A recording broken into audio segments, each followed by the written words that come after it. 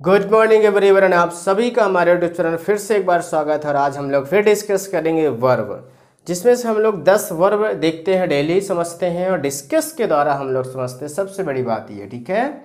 बिल्कुल, हम लोग कोई डिक्शनरी या बुक नहीं उठा रहे हैं, जिससे हम लोग सीधा रटना चालू कर रहे हैं डिस्कस करके हम लोग ज़्यादा समझ पाते हैं, उसको ज़्यादा लॉन्ग टाइम तक हम लोग मेमोराइज कर सकते हैं। ये चीज़ इसका बेनिफिशियल है।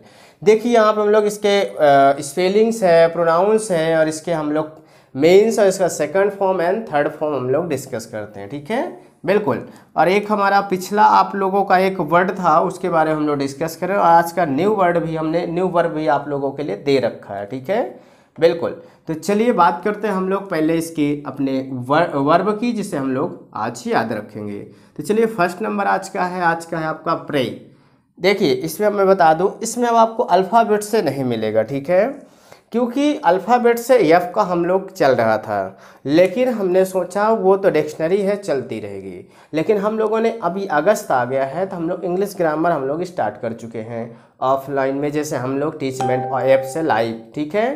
तो जिसमें हम आपको इंग्लिश ग्रामर पढ़ा रहे हैं तो उसमें क्या है कि अब हमको फिर से वो हमारे जो पुराने वर्ब एंड वर्ड थे, उनको हम लोग रिपीट करने का टाइम फिर से आ गया, क्योंकि वो जो होते हैं, वो डेली यूजफुल थे, ठीक है? और डिक्शनरी वाला तो हम लोगों का चलता ही रहेगा। तो एक बार हम लोग ये पुराना जो हम लोगों ने लगभग छः सात सौ किया था, उसको फिर हम लोग पूरे अगस्त हम लोग रिवाइज करेंगे।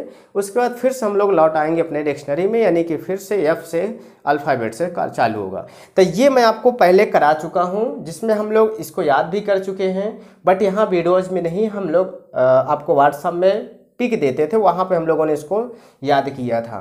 अब आपको ये ट्राई करना है कि आपने जो पहले याद किया था, आपको अभी भी वो याद है या फिर आप उसको ज़्यादा अच्छे से याद कर पा रहे हैं, ये आपको डिफरेंस लगेगा गारंटी के साथ। तो चलिए बात करते हैं, हमने पहला है P R A Y pray यानी प्रार्थना करना ही मैंने आपको बताया था फ़र्स्ट वर्ड ही था ये, ठीक है? बिल्कुल, ये हमारी फ़र्स्ट वर्ब थी जिसमें हम लोगों ने ये सारी चीज़ें देखा था। प्रे, यानी कि आपका प्रार्थना करना, ये आप लोगों को पता है, ठीक है? ये हम लोग पहले भी पढ़ चुके हैं, लेकिन अब हम लोग रिवाइज करते चलेंगे, ठीक है? तो प्रार्थना करना होता है, इसके अगर सेकंड फॉर्म की बात करें तो आपका लास्ट में वाई है और उसके पहले आपका वावेल है तो केवल ई डी डी लगेगा और आपका second and third form create हो जाएगा। प्रेड प्रेड हो जाएगा। प्रार्थना करना यानी कि हम जब हम लोग भगवान से या किसी से प्रार्थना करते हैं तो प्रे कहलाता है। ठीक है? बिल्कुल। अगला हमारा है भाई second number employer I M P L O R E employer मतलब होता है याचना करना यानी कि विनती करना किसी से कि अगर आपका किसी से काम है तो आप भाई विनती कर रहे हो भाई कि मेरा ये काम कर दो भाई। तो होता है याचना करना। या फिर आप गुहार लगाना भीखी, यानी कुछ भी काम करवाना हो तो अपने काम के लिए इम्प्लोर होता है, ठीक है? I M P L O R E. इसका हो जाएगा second and third form employed employed D और डी लग जाएगा आपका। क्लियर है? यस एम्प्लॉयड एम्प्लॉयड हो जाएगा। अगला बात करें हम थर्ड नंबर की वर्शिप ठीक है? W O R S H I P worship मतलब होता है पूजा करना। क्या होता है भाई? पूजा करना होता है आपका। क्लियर है? यस तो पूजा करना, जैसे हम लोग ही, ये हमारे यहाँ है। भगवान किसी दिन मैं अपने रूम का टूर कराऊँगा आपको क्लास ये अपने स्टूडियो का। चलिए बात करते हैं हम लोग कि हम लोग जब पूजा करते हैं तो वही वर्शिप मतलब पूजा करना होता है भगवान की, जो हम लोग अगरबत्ती वगैरह, मंत्र वगैरह थोड़े बहुत जो याद होते हैं बीच बीच के, वो हम लोग पढ़ा करते हैं तो पूजा करना हो गया। इसमें भी हम लोग लास्ट में ई डी डी लगाकर आप सेकंड एंड थर्ड फॉर्म बना लेंगे। वर्शिप्ड वर्शिप्ड आपका हो जाएगा। क्लियर है? यस बात करते हैं हम लोग नेक्स्ट की तो हमारा है fourth number A D O R E adore मतलब होता है आपका पूजना।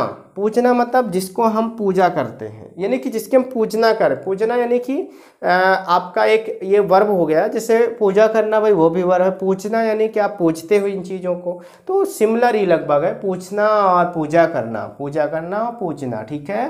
पूजना आप जिसके भाई पूछते हो, पाँव भी पूछते हो या कुछ भी पूजा जाता है। अब पूजा करना मतलब पूजा करना होता है, ठीक है? तो इसका भी हमारा क्या हो जाएगा? सेकेंड एंड थर्ड फॉर्म इसमें डी लग जाएगा हमारा।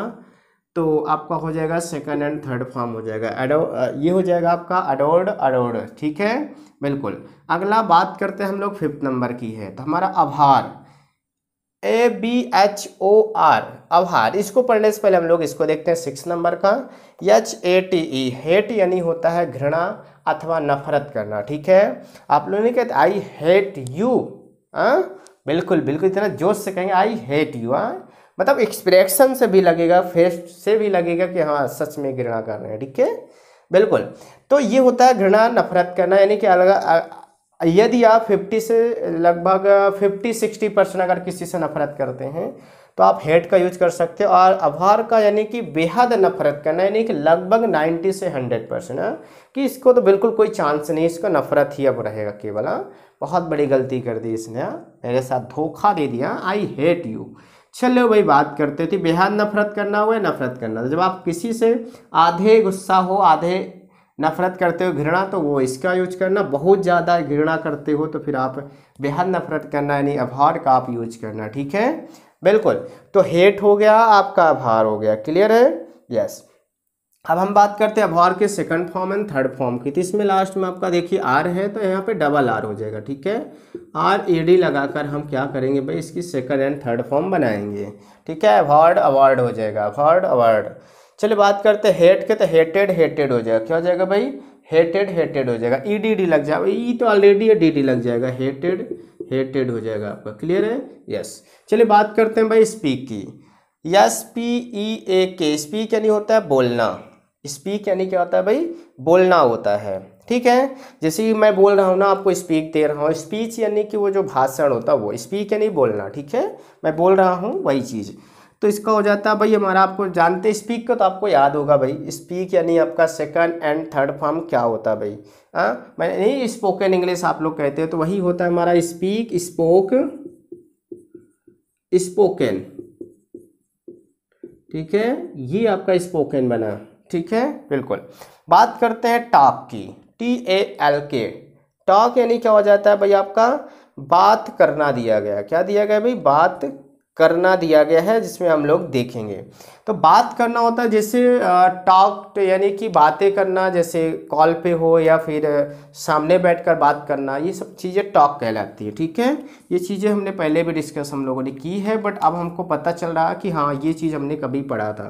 तो इसका सेकंड फॉर्म क्या हो जाएगा? भाई ई डी डी लग जाएगा टॉकड टॉकड हो जाएगा। क्लियर है? यस बात करते हम से की। क्या बात करते हैं? नाइन्थ नंबर की, ठीक है? नाइन्थ नंबर में आपका दिया गया है यस, ए, वाई। से मतलब होता है कहना। क्या होता है भाई? कहना। जिससे मेरे को कुछ आपसे कहना रहता है तो से से, है ना? और इसकी सेकंड फॉर्म थर्ड फॉर्म यानी सैड सैड हो जाएगा। यस, ए, आई, डी, और एस, ए, आई, डी। ठीक है? ये हो जाता है आपका सैड ठीक है? क्लियर है? चलो भाई, बात करते हैं हम नेक्स्ट की tell. T E L tell यानी होता है बताना। बताना, ठीक है? कहना तो से यानी हो गया, टेल यानी क्या हो गया भाई? आपका बताना हो गया। अब इसकी सेकंड थर्ड फॉर्म की बात करें तो यहाँ पे आपको हो जाएगा भाई told tell told told clear है? यस तो ये हमारा हो गया टोल्ड जिसमें हम लोगों ने ये सारी चीज़ें देख ली। गुड यस अब हम बात करेंगे आपके, हमने जो आपसे उस दिन पूछा था, कुछ बच्चों ने रिप्लाई दिया है, उस रिप्लाई को हम लोग देखते हैं, किसने किसने सही दिया था जब हम लोगों ने पिछले वीडियो में आपसे पूछा था। ठीक है? बिल्कुल तो ये चलिए देखते हैं, ये देखिए आपका, ये हमारी थर्टी जुलाई की है थर्टी फ़र्स्ट को नहीं आ पाई थी तो थर्टी ही देख लेते हम लोग, जुलाई अट्ठारह का मंथ है, काफ़ी अच्छा है। इसमें मैंने आपसे पूछा था फ्लिकर क्या पूछा था भाई? फ्लिकर मीन्स क्या होता है? क्या पूछा था? फ्लिकर या फियल आई सी के ई आर फ्लिकर यानी क्या होता है? ठीक है, ये मैंने आपसे पूछा था। आप लोगों ने जवाब दिया। पहला देखिए दिया है, यहाँ पे सेल्जा ने दिया है, जिसमें दिया है, सर फ्लिकर का मतलब होता है टिमटिमाना होता है। गुड। सर, ये मुझे आपने मौसी द्वारा पता हुआ। सर, मैंने ये ये वाले वर्ड को नोट कर लिया है। गुड। है ना? फ्लिकर यानी टिमटिमाना मैंने आपको हिंट भी दिया था कि ट्विंकल ट्विंकल, लिटिल स्टार, ये एक पोयम बनी हुई जिसमें टिमटिमाना तारे से रिलेटेड ठीक है? गुड चलिए भाई, धन्यवाद। आगे बात करते हैं। अमर ने बताया, सर फ्लिकर का मतलब टिमटिमाना होता है। ये मुझे डिक्शनरी से मिला है, सर, मैं अमर सिंह। गुड धन्यवाद। बेस्ट ऑफ़ लक धन्यवाद। चलिए भाई यहाँ पे शिवम ने बताया फ्लिकर मतलब टिमटिमाना सर, ये मैं बुक से मिला है। शिवम तिवारी गुड यहाँ अमर ने कहा, सर, मैं अच्छा। तनुष्का सिंह कहती है कि, भाई फ्लिकर का मतलब टिमटिमाना होता है। ये वर्ड मैंने यू डिक्शनरी में सर्च किया। अच्छा इनके पास मोबाइल में यू डिक्शनरी है, ठीक है? उसी से सर्च करना आसान होता है। थोड़ा बुक वगैरह से ढूंढना गूगल में जाना डिक्शनरी में आसानी से इसमें काफ़ी चीज़ें मिल जाती हैं। यहाँ पे श्रेयांश ने कहा, सर फ्लिकर का मतलब टिमटिमाना होती है। होती नहीं बेटा, होता है। ठीक है? बिल्कुल, आप उसकी लड़की बना दो हाँ। जेंडर ही चेंज कर दो हाँ। खैर, मज़ाक चला चलो भाई, देखते हैं। यहाँ पे सलजा ने कहा good morning sir thanks sir धन्यवाद, मस्त। ओके, धन्यवाद। सभी का धन्यवाद। गुड आफ्टरनून गुड आफ्टरनून सभी का गुड आफ्टरनून धन्यवाद। सर मैंने गूगल से सर्च किया। अच्छा श्रेयांश ने कहा, मैं गूगल से। प्रिया ने कहा good morning sir good morning आपको भी। चलो भाई, सभी को गुड मॉर्निंग एंड धन्यवाद सभी को। थैंक यू सो मच आपका। चलिए भाई, आप लोगों ने क्या जवाब दिया भाई? टिम टिमाना। चलिए लिख देते हैं भाई, टिम टिमाना। और आज का जो हमारा है, carry. C A double R Y carry. वो वाला कैरी नहीं, जो आप मैथ में कैरी लेते हो। ये कैरी, वो भी सेम ही है, दोनों सेंस सेम ही है, ठीक है ना? कैरी यानी कि जब हम लोग लेते हैं ना उसमें, वैसे ही ये भी कैरी का मतलब है, ठीक है? सेम वही दोनों है, बस मैथ और इंग्लिश में क्या भाई? वर्ड तो वर्ड होता है। चलो भाई तो कैरी का आपको रिप्लाई देना है कमेंट बॉक्स में, नीचे हम आपको देना है, ठीक है? उसका रिप्लाई मैं ज़रूर देने की कोशिश करूँगा। गुड तो चलिए हम लोग ऐसे पढ़ते ही रहेंगे और अगर आप नए हैं तो सब्सक्राइब कर लीजिए और यदि पुराने हैं तो दोस्तों को रिकमेंड कीजिए और दोस्तों को भी शेयर कीजिए। ज़्यादा से ज़्यादा कम्युनिटी बननी चाहिए। हमारी कम्युनिटी इस हमारे स्पीड पे है हम लोग बढ़ रहे हैं धीरे धीरे अपने टारगेट की ओर और, और बहुत अच्छा लग रहा है ठीक है? हम लोग ऐसे ही पढ़ते रहे और आपके लिए नए नए टॉपिक भी हम लाने वाले हैं। सभी का टाइम टेबल बन चुका है। तो हम लोग मिलते हैं नेक्स्ट वीडियो में तब तक आप पढ़ते रहे अपना ख्याल रखिए। सभी को जय हिंद।